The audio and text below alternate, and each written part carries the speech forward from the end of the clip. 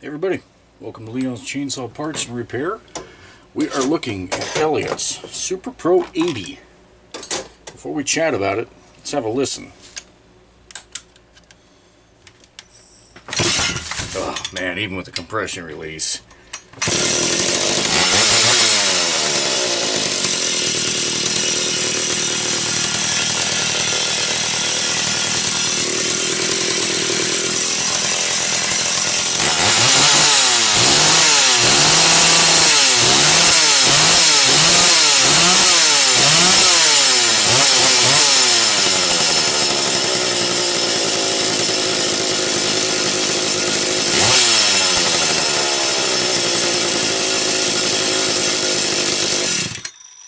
Okay.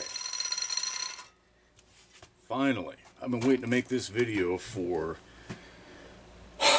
it feels like a month and it probably is.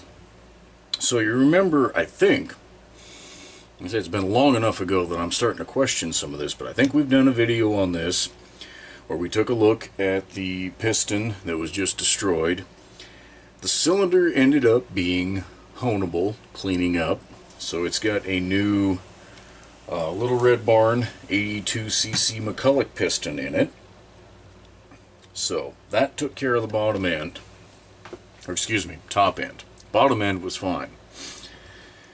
But once I got to that point, it was like that, you know, the death by a thousand cuts. Just little stuff that uh, would come up as I was working on it, you know, and I was able to test run it once when I started finding other stuff wrong, the little piddly ticky foo stuff that's actually more annoying than replacing a piston because it comes up one thing at a time.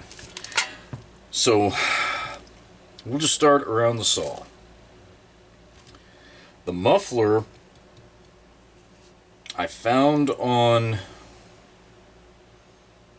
eBay. Yeah, I found that on eBay when we first started talking about this. It's complete other than you will notice it has no reed. I haven't seen one come up for sale. It's one of those things the guy's just going to have to pay attention and watch for it. The deflector's there, and this hardware, I've had it loose, so I know that it will come loose to slip a new reed in there. So, that's not there. But everything else is good and solid. I don't want to burn my fingers off, but I want to demonstrate that muffler's not weak. It's tied into the cylinder, actually with these two screws, and then two on the bottom, and everything's good and solid. It's not rotted out. Obviously the decompression valve works. We could hear that. Uh, it trips out really easily. I don't know if it's original or if it's a little, you know, the springs have gotten weak with age, whatever. In reality, when you're starting it, you're not going to usually be doing a short stroke on a bench like I was doing. That's why it kind of popped and kicked there. Gone through the carb, rebuild it. Fuel line. This is the nice sealed 82cc style fuel tank. And I think my two nieces and uh, nephew just arrived, so this might get loud. So I'll try to finish this up. The starter was an abysmal mess. The main screws were stripped out. I haven't been able to find the screw that doesn't have the pointed end because this screws into the manual oil pump that's right here. So I had to rethread these two holes, then that. Um, whether or not these screws are truly an 832, I'm not 100% positive, but an 832 insert worked.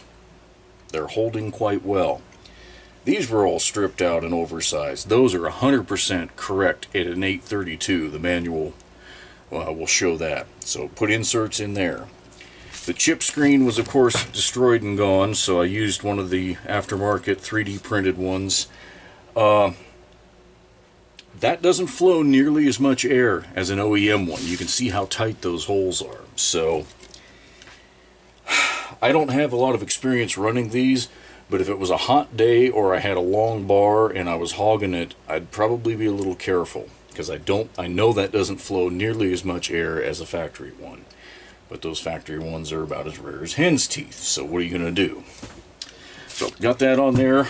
Uh, had everything apart, of course, when I was doing the the piston So the fuel tank has, or ah, oil tank has a new gasket, and the gasket has been sealed with gasket sealant, so it hasn't leaked a drop.